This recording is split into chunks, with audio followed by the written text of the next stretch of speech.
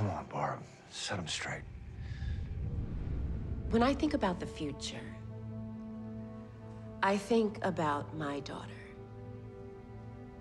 Janie.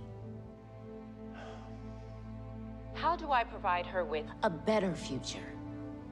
That's what we've invited you here to discuss. Yes. And how do we design our vault society so our children have that better future? I suggest we hedge our bets.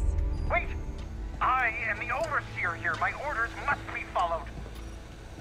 Why isn't this working? This is Conflict Resolution 101. Where's the rest of the vault? This is the rest of the vault. Is this where my dad's from? You'll never find out. Oh, he's gonna find out.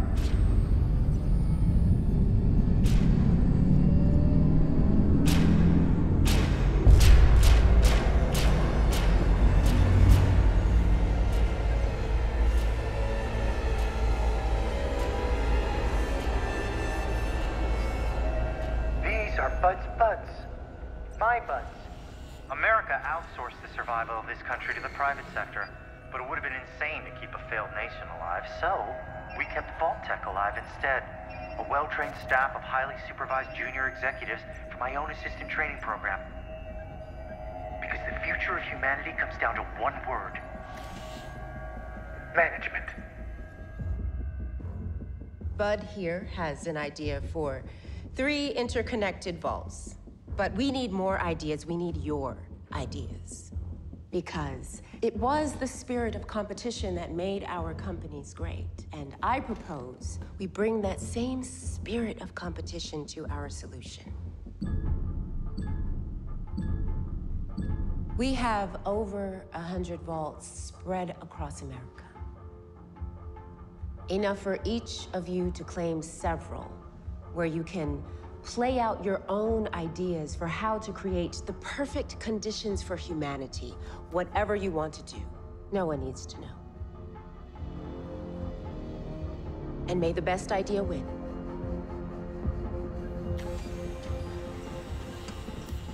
So what's Vault 32 and 33? Just people to be controlled? What? Oh, when you put it like that, sounds downright morally questionable. They're our breeding pool. The ultimate expression of HR R&D, genetically selected to breed with my buds to create a class of super managers.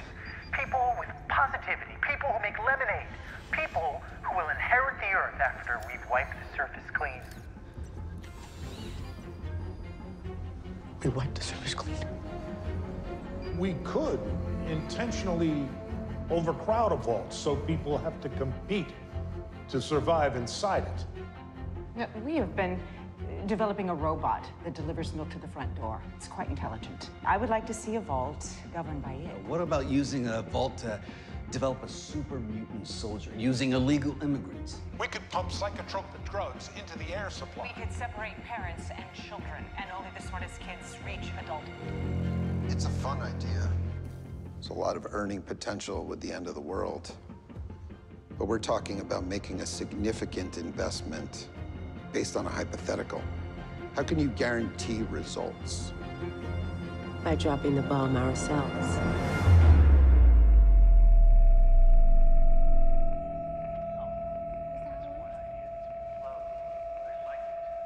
Mr. Howard?